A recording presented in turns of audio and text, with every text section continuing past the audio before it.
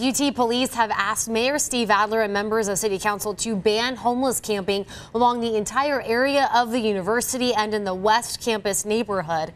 In a letter to city leaders, UT Police Chief David Carter said officers often respond to harassing behavior along the drag and other areas around the university. These are places where students, teachers, and employees go often. Chief Carter says the city has a responsibility not only to seek appropriate housing and treatment for the homeless, but to recognize the safety of young students. He says the homeless community has created potential dangers. In 2016, freshman Haruka Weiser was murdered while walking on campus by a teen who was homeless at the time.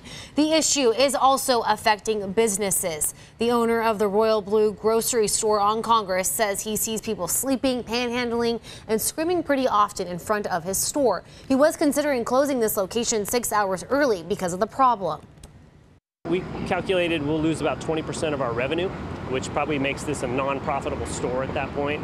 It would cost two and a half jobs, would just disappear. Staley says Austin police have recently stepped up patrols on Congress, which has helped.